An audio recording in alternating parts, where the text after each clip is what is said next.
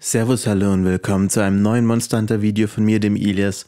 Gestern war der Entwickler-Livestream und sie haben richtig viel Zeug angekündigt und ich freue mich darauf, das Ganze zu erleben und jetzt mit euch zu besprechen. Also, das Beste vorneweg, endlich, es ist soweit. Devil Joe kommt und das sehr bald. Nächste Woche, Donnerstag am 22.03. kommt Devil Joe über ein kostenloses Update, also für alle verfügbar ins Spiel.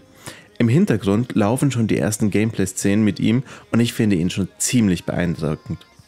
Bei Devil Joe handelt es sich um einen Kampfwüfern, der durch seine hohe Körpertemperatur ständig Hunger hat und deswegen so äh, als Kannibale auch bezeichnet wird, frisst sogar seine eigene Art und alles einfach nur fressen, fressen, fressen, wird auch als äh, Weltenfresser, glaube ich, bezeichnet. Er wird aber auch so ein bisschen als die Bodenversion des Basil Goose bezeichnet. Ähm, ist dem wohl relativ ähnlich. Ich habe ihn noch nicht gespielt aus einer alten Version oder so. Ich bin aber sehr gespannt auf ihn. Wir werden ihn natürlich nicht nur temporär im Spiel haben, sondern dauerhaft. Wir werden ihn über 6 und 7 Sterne-Quests spielen können, auswählen können, Missionen zu ihm, aber auch natürlich High-Rank-Untersuchungen mit ihm. Mit dem Devil Joe wird es auch für jede Waffenklasse eine neue Waffe geben und natürlich auch eine neue Rüstung bzw. zwei neue Rüstungen, die Venges Alpha und die Venges Beta.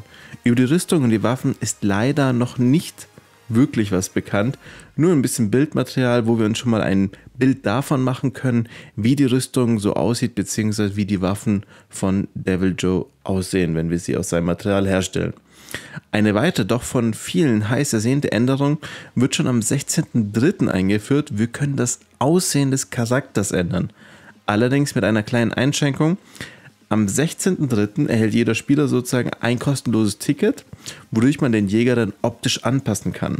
Das Ticket kann aber nur einmal verwendet werden und wenn wir dann unseren Jäger noch einmal verändern möchten optisch, dann müssten wir so ein Ticket in unserem PlayStation Store oder eben bei der Xbox in dem Xbox Game Store dann mit Echtgeld kaufen.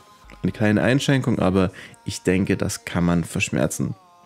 Was wird man denn optisch ändern können? Man wird zum einen das Geschlecht des Jägers ändern können, das physische Aussehen, also Hautfarbe, Augenfarbe und so weiter, aber eben dann auch, wie es bisher schon der Fall ist, kosmetische Veränderungen, also Haare, Gesichtsbemalung und so weiter. Wir werden allerdings nicht den Namen des Jägers oder den Namen des Palikus ändern können und anscheinend können wir auch nicht das Aussehen des Palikus ändern. Was ich sehr schade finde, dass wir hier ein bisschen eingeschränkt sind. Würde ich cool finden, wenn man insbesondere den Namen äh, des Jägers und des Palikus ändern kann und vielleicht auch noch das Aussehen von ihm. Aber na gut, man kann ja nicht alles haben. Vielleicht kommt es ja später einmal. Was für Änderungen dürfen wir denn noch erwarten, die mit diesem Frühlingsupdate oder in den nächsten Wochen kommen. Vom, vom 6.4. bis 12.4.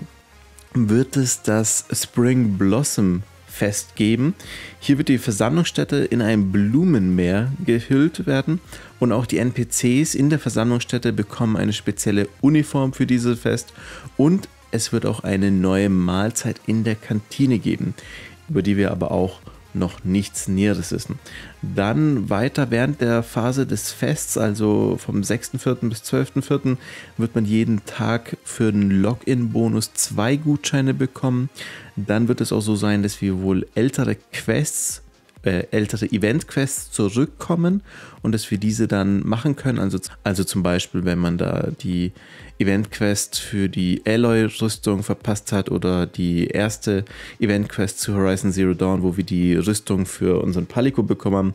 Wenn wir das verpasst haben, dann werden wir das wohl da nachholen können. Und es wird auch sonst wohl andere oder neue Untersuchungen geben. Und ich habe irgendwie, wenn ich es richtig mitbekommen habe, soll es auch so ein paar Minispiele oder ähnliches geben. Also einfach, dass es mal ein bisschen aufgelockert wird. Richtig nice finde ich auch, dass zum Start des Frühlingsfests am 6.4. ein neues Großschwert kommen wird. Das Wyvern Ignition. Das Besondere hierbei ist, das ist keine Waffe, die jetzt die Entwickler sich ausgedacht haben, sondern die Waffe, die wurde, ist entstanden in einem Fanwettbewerb, den Capcom mal durchgeführt hat. Dann, was werden wir noch für Neuerungen haben? Grundsätzlich wird es Verbesserungen natürlich im Spiel geben. Es sollen die Ladezeiten verkürzt werden. Dann sollen wir die Möglichkeit haben, nach einer Quest direkt in die Gildenhalle zurückzukehren. Es wird neue Emotes geben, ähm, Waffenanpassungen wird es geben, also insbesondere werden viele Waffen verstärkt, manche werden auch abgeschwächt. Da gibt es schon eine kleine Liste oder ein, eigentlich eine recht umfangreiche Liste, was da so geändert werden soll. Aber dazu könnte man vielleicht mal ein extra Video machen, muss ich mal schauen, ob ich da noch dazu komme in der Zeit oder ob wir da mehr Infos dazu kriegen zu diesen Waffenänderungen. Dann Bugfixes wird es geben. Wir bekommen ein Bienenkostüm für Pugi zum Frühlingsevent. Ähm, natürlich kriegen wir auch noch die äh, Crossover-Quest zu Dante, also Devil May Cry. Und ähm, eine Crossover-Event-Quest wird starten am 13. April, dass wir einen Mega Man Palico bekommen können, also eine Rüstung für ein Palico im Mega Man Look. Dann äh, auch noch ganz zum Schluss hier noch eine Änderung, genau.